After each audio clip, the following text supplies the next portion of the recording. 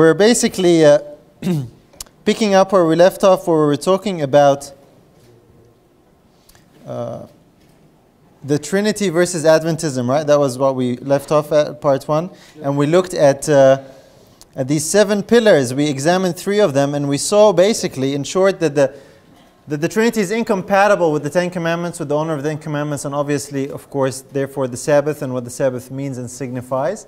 And uh, we spent a bit of time looking at uh, the state of the dead, particularly how that relates to the death of Christ.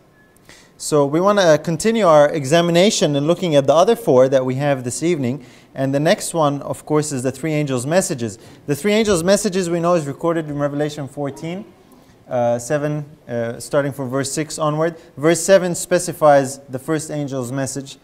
And it says, saying with a loud voice, Fear God and give glory to him for the hour of his judgment is come, and worship him that made heaven and earth and the sea and the fountains of waters. We're all familiar with this. If, if uh, you know, anyone asks us what is our mission, we'd probably go to this path. Most Adventists would probably go to the three angels' message and say, This is the message we're to give to the world. Uh, in order to give the message, you must first understand it correctly, right? That's a, it's a pretty obvious prerequisite. Who is this message talking about? It's talking about someone him, an individual, one individual, not many, obviously, because it says him, his judgment, him that made heaven and earth. He's the creator. And I think we already covered a fair bit of, uh, of evidence as to who this creator is. We saw that all things were made, uh, or God, sorry, God made all things through his son Jesus Christ, or by his son Jesus Christ. So who would this message then be referring to? It's none other than the Father.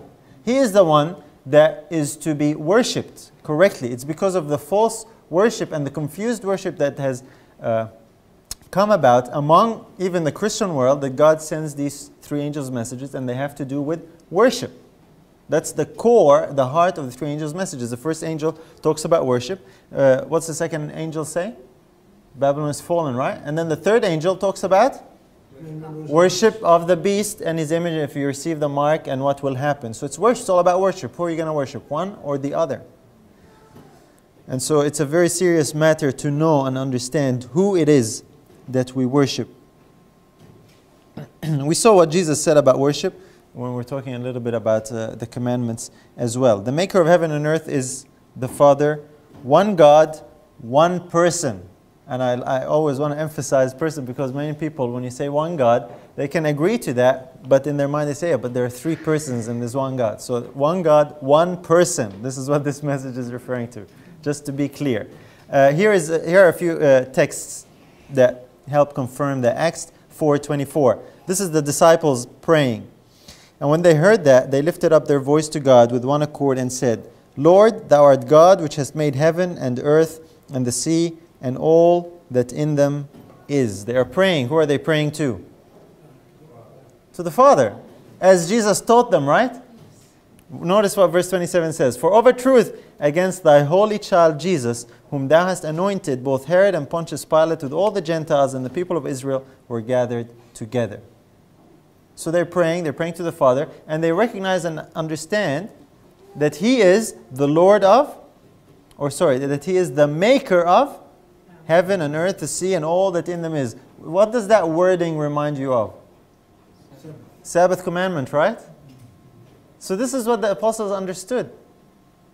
It is God the Father. And of course they're saying, you know, they, they rebelled against your, your child Jesus. So this, this just confirms for us who they're talking about. They understood that the God of Israel, the God of the Bible, the God of Abraham, Isaac, and Jacob, the God of the Ten Commandments, is none other than God the Father, one individual person. And uh, according to the words of the scribe, none other but he. And Jesus told him, You're not far from the kingdom of God. Of course, they'd learned this truth from the lips of Christ himself. And obviously from scriptures, but Christ was with them for, for three years when he was on earth. Luke 10 21, this is one of the things they would have heard from Christ. In that hour, Jesus rejoiced in spirit and said, I thank thee, O Father, Lord of heaven and earth for thou hast hid these things from the wise and prudent, and hast revealed them unto babes. Even so, Father, for so it seemed good in thy sight. So, according to Jesus, here we see also that uh, the Father is the Lord of heaven and earth. He's the maker and Lord of heaven and earth. And we saw how he made all these things. Uh, obviously, uh, I mentioned it as well. That's why Jesus taught his disciples when they pray, they are to pray to the Father. And, and that's how we are to pray as well. And so, your understanding of who God is is going to affect your worship and your prayer. There is no question about it. There is absolutely no question about it. How you pray, who you pray to, and who you direct your prayer to, and your worship will be affected by your view of God. Either it's going to one person ultimately, or to three. Now that makes a very big difference. Especially when the issue in the last days we know is over worship, then that's a really, really serious, serious tragedy if we have confusion over worship. The very purpose of the three angels' messages is to correct worship, is to bring or restore true worship to the true God. And so, to give that message, you need to have the correct understanding. And so, the Trinity basically is a contradiction to the three angels' messages. If, if the first, you can't get past the first one if you forget about getting the other two right. You know, the other two are based on the first one. As a matter of fact, the other two angels don't tell you to do anything. If you think about it. The only part of the three angels' messages that actually gives you some kind of instruction or requirement or tells you to do something is in the first angel.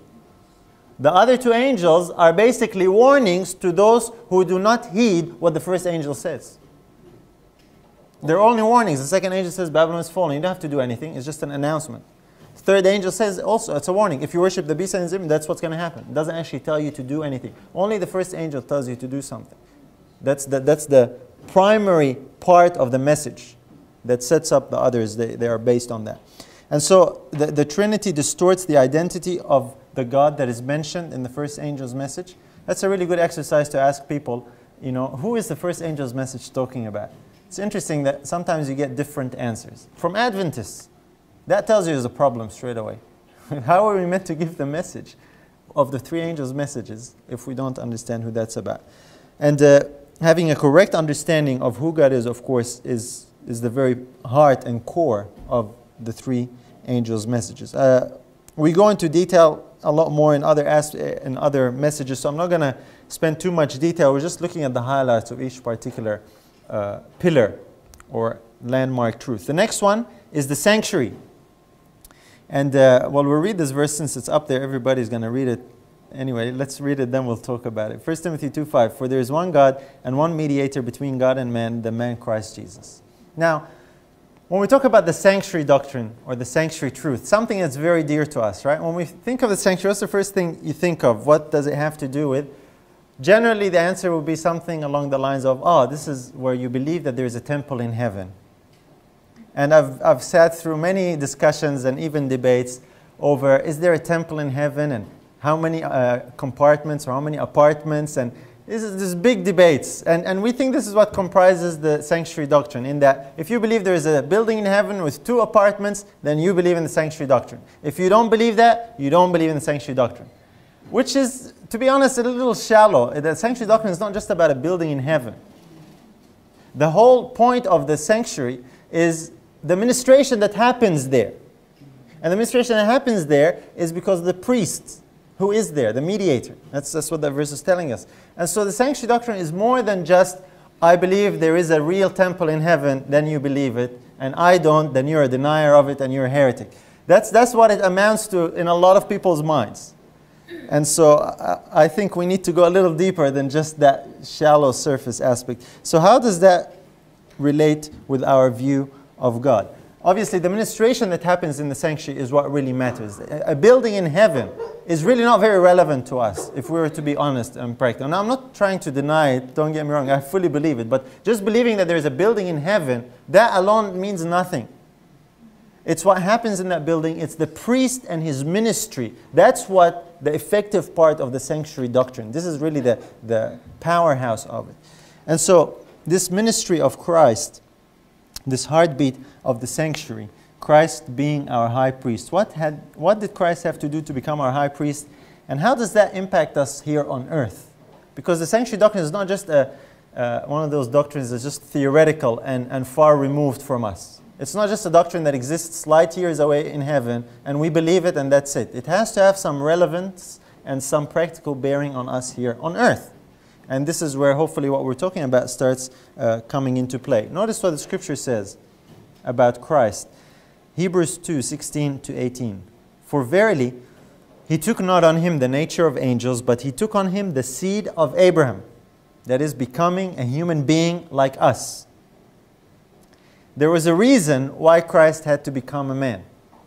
One of the reasons that is mentioned in this particular context is this Wherefore, in all things it behooved him to be made like unto his brethren, that excuse me, that he might be a merciful and faithful high priest in things pertaining to God, to make reconciliation for the sins of the people. For in that he himself hath suffered being tempted, he is able to succor them that are tempted.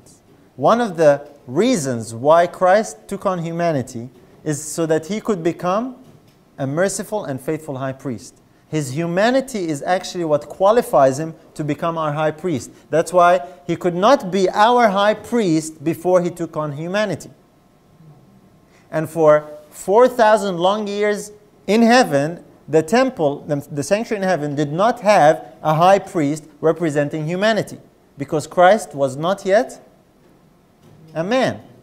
It's when he came as a man and was tempted like us, he became a merciful and faithful high priest so that he can help us because he was tempted like us. And so after he went back to heaven, that's when his priesthood commenced. And that is why the Levitical priesthood came to an end. That's actually why God had instituted the Levitical priesthood as a type or as a prophecy pointing forward to what Christ would, to a greater degree, fulfill and accomplish. That's the, the Levitical priesthood was only, uh, you know, like a, an acted out prophecy. It wasn't real in the sense that it did not accomplish what Christ would accomplish. It was a type. Uh, you know, the Bible, we, we read the verse, I think, last night. The law made nothing perfect. That includes the Levitical priesthood and so on. So, this is a necessary, very important component for the ministration of Christ in the heavenly sanctuary, that he had to be a human being in order to represent us and be our high priest. And that's what he's doing right now. And so believing that, which a lot of most people generally believe, is good and well and important, the ministration of Christ. But here is then the next follow-up question. Does Christ carry out any ministration here on earth? While he is the minister in the sanctuary in heaven. Because, like I said, our belief in the sanctuary is not just a far removed, light years away. Up there, there's a sanctuary, and yes, Christ is all the way up there. What about here? Does the high priest, our high priest, does Christ have a work of mediation as part of his high priestly ministry here on earth? And to answer that, we have to understand what the Bible tells us about the temple of God or the sanctuary. Too often, when we talk about the sanctuary, if I say the sanctuary, the first thing that will come in people's minds is the temple in heaven. But that's not the only sanctuary there is. 1 Corinthians 3.16 Knowing not that ye are the temple of God and that the Spirit of God dwelleth in you. We know these verses, right? What's another word for temple? Sanctuary. Would that be a fair enough uh, uh, you know, replacement word? Same thing. So God has a sanctuary not just in heaven, but where? On earth. We are his temple. Well, oh yeah, we all know that. You know, we think, yeah, we knew that one. But when we talk about the sanctuary doctrine, many times it's just what's up there in heaven. Is there a building or not? But we need to look at the, at the doctrine, at the truth, in a more wholesome way. Yes, there is a building in heaven. Yes, Christ is ministering in the most holy place. No question about it. But what about what's happening here on earth? Because that's where all of us are. We're down here, we're not up there. And the benefit from the ministry of Christ is not just a theoretical benefit where he does something long, long, uh, far, far away from us. It, that, that's, you know, it's not just theoretical. There is a real and practical relevance to us here today. Ephesians as well says the same thing. Ephesians 2 21 and 22. In whom all the building fitly framed together groweth unto an holy temple in the Lord, in whom ye also are builded together for an habitation of God through the Spirit. Peter talks about us as being lively stones, right? Living stones in this temple, in this sanctuary. So God has not just a temple in heaven, but has a temple, a sanctuary here on earth, where He desires to dwell. Now, here's the question Who is the minister of this sanctuary on earth? Who is the high priest of the earthly sanctuary? How many priests are there? Okay? We read the verse earlier is one God and one mediator between God and men, the man Christ Jesus. He's not just our mediator in the heavenly sanctuary. If you really want to believe the sanctuary truth, it's a wholesome truth. The, the same priest has to be ministering in whatever temple or temples there are. And we, we see that the temple on earth is his people. I think we all know that the Trinity doctrine teaches Christ is in heaven. Actually, some people believe Christ can only be in heaven, and, and he is limited in that way. And so on earth, we have someone else who is helping Christ, someone called God the Holy Spirit. And he's the one who is, you know, among these people or even living in his people. That's a very serious problem, you know? Because the Holy Spirit is not qualified to be a priest. Because the Holy Spirit never took on humanity. He is not tempted like we are. He is not touched with the feelings of our infirmities, and therefore, based on the verse read in Hebrews, is not able to succor us when we are tempted. And that's what we need the most. What good is it if my high priest, who took on humanity, left me, went to heaven, and sends me someone else? Right? So when we look at the sanctuary doctrine that we believe, you know, it's, it's a lot more than just a building. It's, it's actually very practical. Who is your high priest? Who is ministering in the sanctuary on earth? It can only be the same priest. Only one priest is qualified to do that. That's Christ. And so Christ is doing a dual work, or he's doing a work on two fronts. He is ministering in the sanctuary above in heaven, in the flesh, in, in, in his humanity. And he is still ministering in this temple on earth by his spirit, which is his very own life, his very own presence, not someone else. And that is how he links both us and God together. One mediator. We don't have two mediators, only one. And when we talk about that, someone will say, well, hold on, brother. Romans 8 says different. Some people use Romans 8 to, to actually say, well, we have a different mediator on earth. Let's read it. This is a passage, I think you might have heard that, but it's very relevant in this context. Romans 8, 26 and 27. Likewise, the Spirit also helpeth our infirmities, for we know not what we should pray for as we ought, but the Spirit itself maketh intercession for us with groanings which cannot be uttered.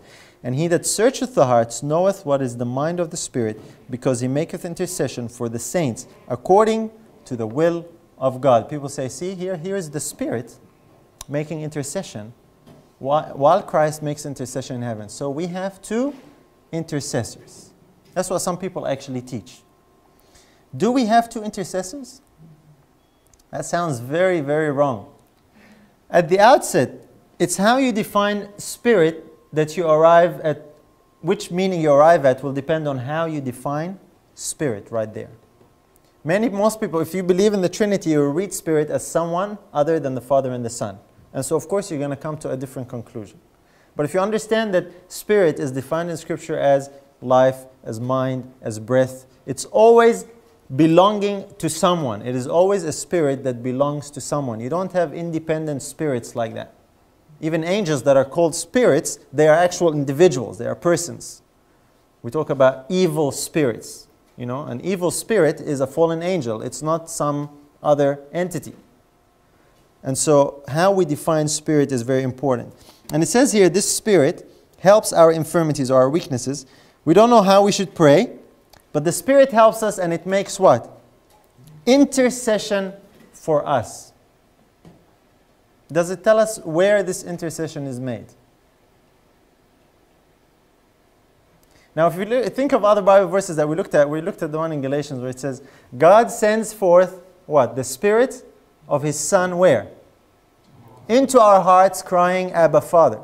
So this intercession happens in our hearts by the Spirit, and what it does, it, it, uh, it says, with groanings which cannot be uttered. In other words, many times when you're praying, the Spirit will touch your heart in a way, and you will have certain thoughts and feelings and emotions that you want to express in prayer, and there are no adequate words to do so. Have you ever experienced that?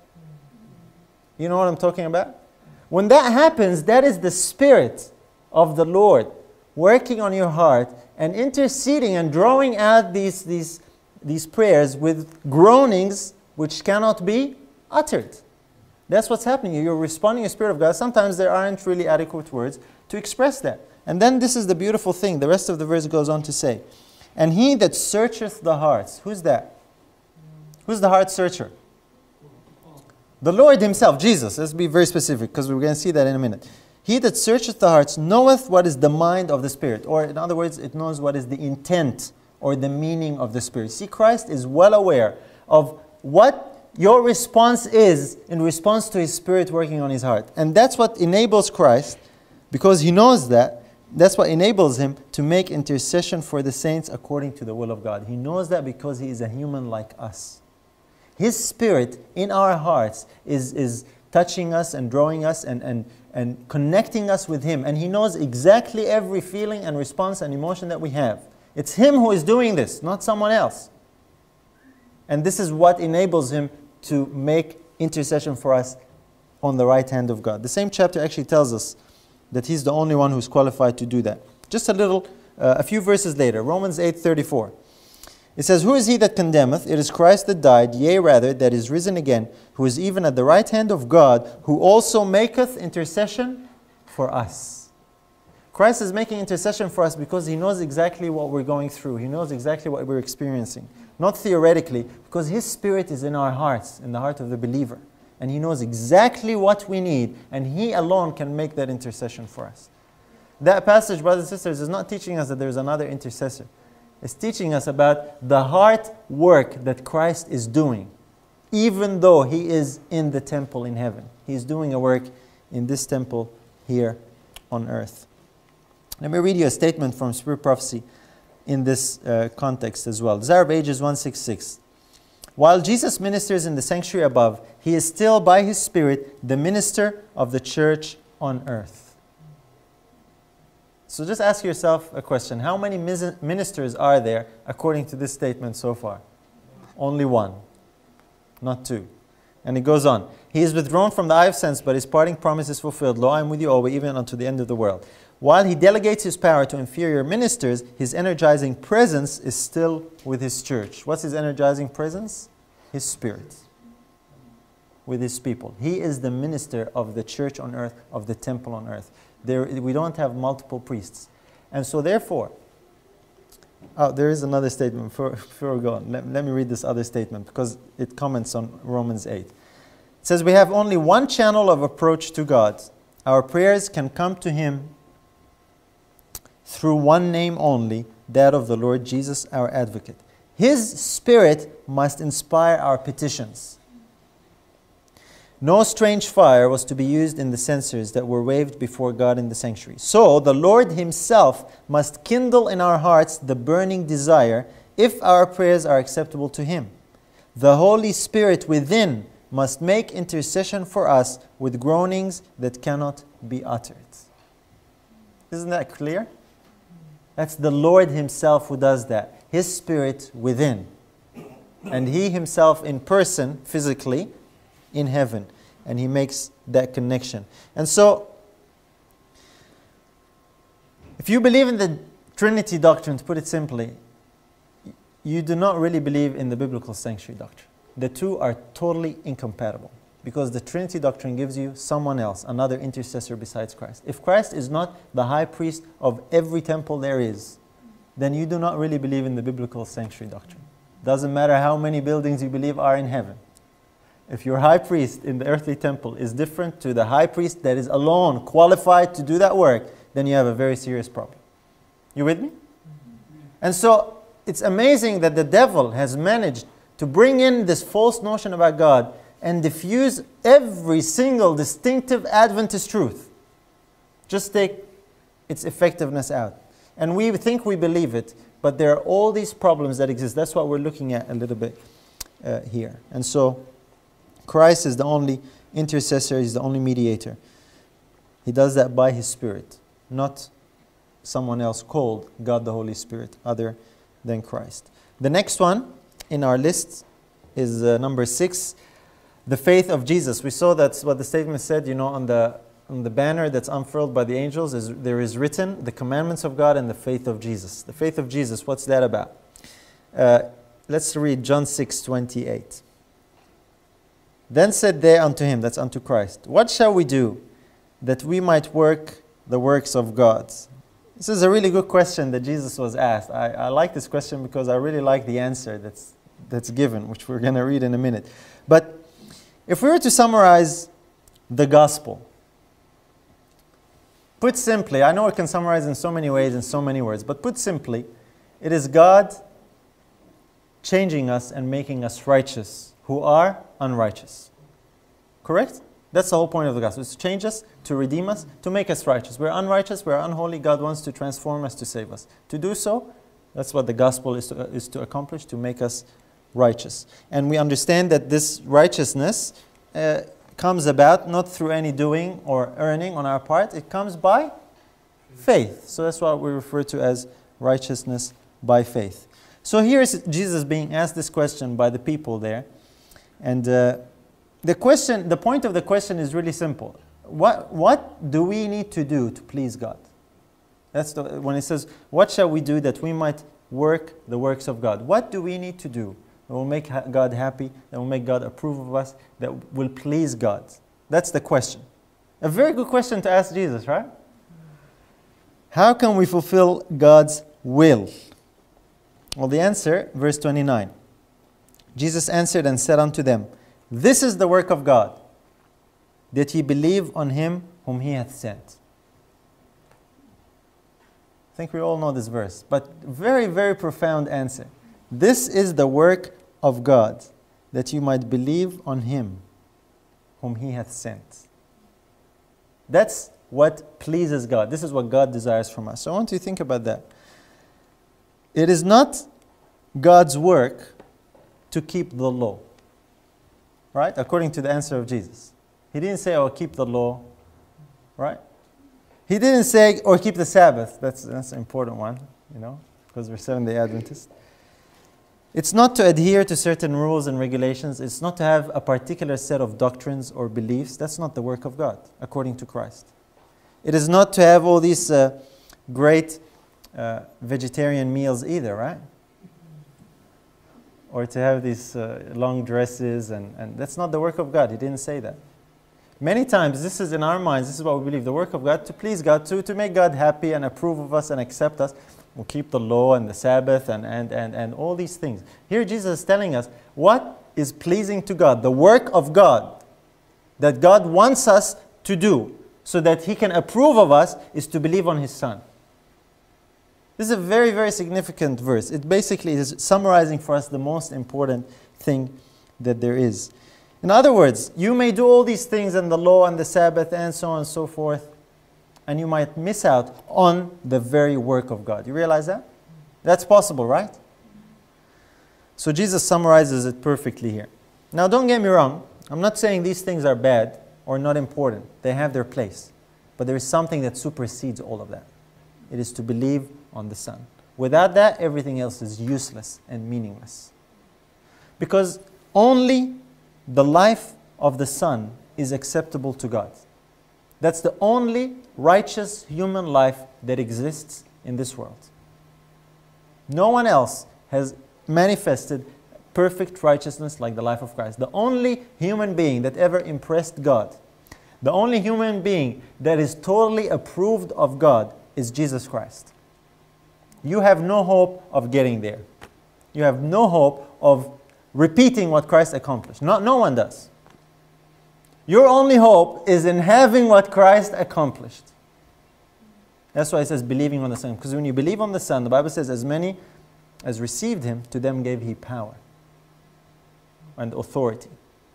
And other verses that we're going to look at as well. And so this is what righteousness by faith is about. When you believe the Son, you receive his righteous life by faith, not someone else's life.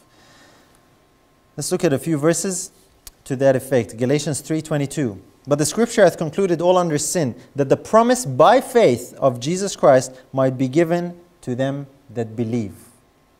That's the first thing that God is concerned with that we might receive by faith. The promise of the faith of the Son, or the life of the Son. Or the Son himself, that's what it is. You, don't have the life without the Son. It's he that hath the Son hath life. That's what righteousness by faith is all about. That's the primary purpose and point of the gospel. It's given to those who do what? To those that believe, right? It's not given to those who keep the commandments. It doesn't say that. It's not given to those who keep every Sabbath faithfully and make sure they do all these. It's not what it says. They believe, that believe. Now, I'm not knocking these other things, but they cannot replace faith at all. And many times, you know, uh, indirectly, we kind of shuffle things around a little bit. We place a lot of importance on our obedience. But we need to remember that things come in a particular order. Faith is to produce that, of course. There's no question about that. Romans chapter 3, verse 22 to 24. Even the righteousness of God, which is by faith of Jesus Christ, unto all and upon all them that believe, for there is no difference. For all have sinned and come short of the glory of God, being justified freely by his grace through the redemption that is in Christ Jesus. That righteousness of God exists only in one place. You know where? In the life of Christ. When Christ went to heaven as a man, the Bible tells us that God told him, You have loved righteousness and hated iniquity.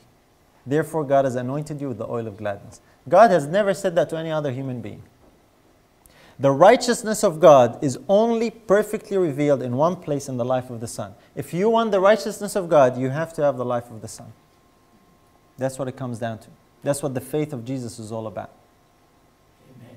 And no one else will give you that, whether it be human or divine. Because a lot of people say, well, the God, the Holy Spirit does that, He is a divine being. First of all, that is not established from the scripture at all. Second of all, the Holy Spirit did not live a righteous human life that pleased God. If it was a separate person from Christ, only Christ did that. And so when you have this belief that tells you, well, Christ is gone to heaven and we have now someone else, then you don't have the life of the Son. If the Holy Spirit is a different person to Christ, then it is not the life of the Son. Then what have you got by faith? you have someone else. You don't have the, you don't have the righteous life of the Son. It's a very serious problem when it comes to righteousness by faith. Can we see that? You with me? And so it's necessary and important to understand that. That's why the devil has created a lot of these uh, diversions and false ideas. Romans 5.10 For if when we were enemies we were reconciled to God by the death of his Son, much more being reconciled we shall be saved by his life. What's another word we can put there? His spirit. Would that be correct? Yes. Because the Spirit is life because of righteousness. That's what happens if Christ be in you.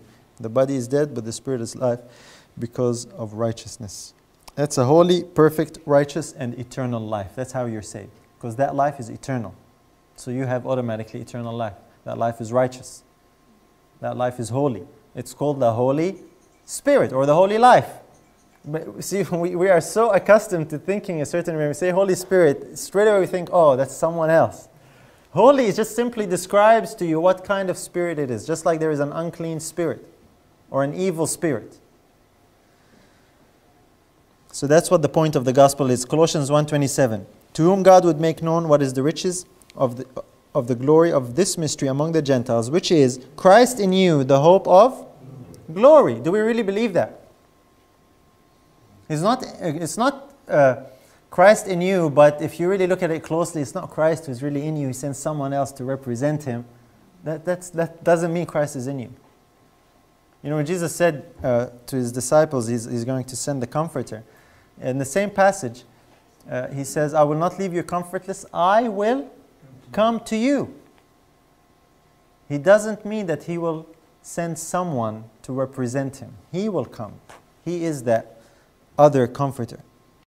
So, this righteous life of the Son is what alone can make us righteous.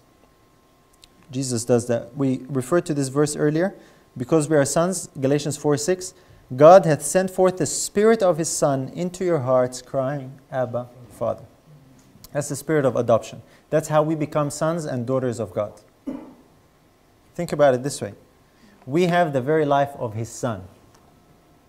And so God looks on us like His own children. He treats us like He treats His Son because we have the life of His Son. That's, that's what, when Christ accomplished salvation, this is what He desired of His Father. At the end of His prayer there in, in John 17, He says, Father, I wish or I desire that all those that you've given me to be with me where I am. He wants us to be treated like He is. He went through all this trouble so that we can be like that. The only way that that happens on a real, practical level is that we receive His life. And so His Father becomes our Father. That's why it says, crying, Abba, Father.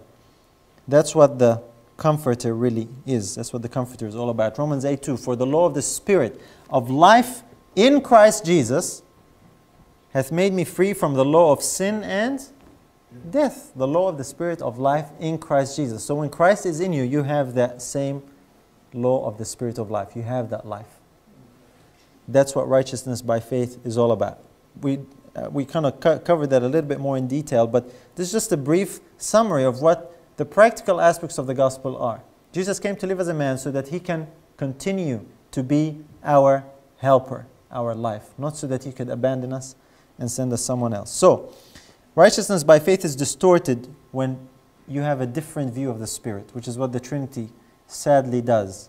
But I understand that a lot of people believe in the Trinity and they, they believe in righteousness by faith. Maybe they haven't thought it through, but the two are incompatible. If you really logically sit down and think it through, you will find there is a conflict. The two are totally incompatible. Last one is the second coming of Christ. We're Seventh day Adventists, right? So, second coming is an important event. The Bible says, Matthew 16 27, For the Son of Man shall come in, his glory, in the glory of his Father with his angels, and then he shall reward every man according to his works. This is another pillar that we have. This is a very distinctive and important truth, uh, truth. And all these other truths are designed to lead and prepare us for that. Now, when Christ comes the second time, I'm not sure if you, maybe you thought about this. Again, this is another common question that comes up. Uh, who is going to come in the second coming? Right? You ever thought about that? Is it going to be Christ? Is it going to be Christ and the Father? Is it going to be Christ and the Father and the Holy Spirit? Who's going to come in the second coming? You know, the angels are coming. We're planning to be there by God's grace, but who's going to come? You, you ever wondered about that? I guess the answer, again, depends on what you believe about God, right? You know, is the Trinity coming or, or is the Son coming? Many times it's referred to as the second coming of Christ. Jesus basically says here, he comes, uh, he doesn't say that he comes with his Father, he says he comes in the glory of his Father and all the holy angels with him. And uh, in another place, I don't have it here, but we know the verses. Jesus tells his disciples what? Uh, don't let your hearts be troubled. You believe in God, right? You know that passage? And then he goes, says, he's going to prepare a place for us. And this is, these are the words he uses. In my Father's house are many mansions. What is his Father's house? When he says, I'm going to prepare a place for you, he says, In my Father's house are many mansions. I'm going to go away, I'm going to prepare a place for you, then I'm going to come back and take you and receive you so that you might be where I am. Right? You know the passage, John 14. What is he talking about when he says, In my Father's house are many mansions? What's his Father's house? Heaven. Yes, for correct. Heaven. He's talking about heaven. Not that hard, huh? It's getting late, I know. Heaven. That's what he's talking about, brothers and sisters, right? You know what I'm talking about or not? It sounds strange. Nobody's answering. Uh, it's heaven. Sorry, it's not a trick question. It's too, it's too simple. Sorry. Yeah, it's better to answer and get it wrong than to not answer. Huh? No, it is heaven. So, but the point I'm trying to make is this: according to Jesus, heaven belongs to someone. Who's the owner of heaven? One person. It's his Father's home. In his father's home is, are many mansions. He's going to go and prepare for us a place. It's not his home. Well, he lives there, but it doesn't belong to him. He's the son of the father. It's his father's home. And the picture that is really beautiful, that the point I'm trying to make here, I'm sorry, I wasn't meaning to trick anyone. But the, the, the point is, uh, Christ is going to come and to take us to his father's home, very much like what would happen in, in a Jewish wedding when, when, the, when the groom goes to collect his bride, he brings her to his father's home. And usually, what happens is uh, the father or the parents would be waiting to welcome the bride. That's the image, that's the picture there. And so, that's exactly what happens. The owner of heaven, the Father, will be waiting for us when Christ brings us back. And so, Christ comes in his glory and in the glory of the Father with all the angels, but the Father is not going to be coming. He's waiting in his house for us to come so they can, he can give us, sorry, so he can give us the royal welcome to his house. We're going to look at that in a minute, but before we go there, let's read Colossians 3 4. This has been read a few times, but again, it's a beautiful verse. When Christ, who is our life, shall appear, then shall you also appear with him in glory. This is the only preparation that you need to be ready for the second coming. If Christ is your life, if Christ is your life, when He appears, you will appear with Him in glory. If He's not your life, you will not appear with Him in glory.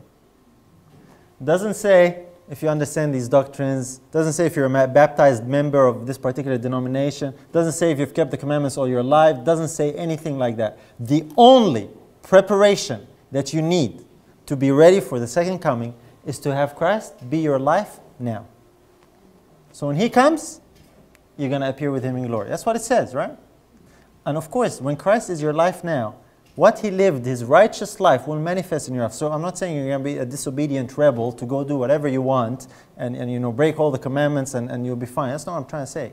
The, the, the key component for preparation is not in doctrine, is not in obedience, is not in trying to do all these things, is having the life of Christ. If you have the life of Christ, everything is set, everything is in its place.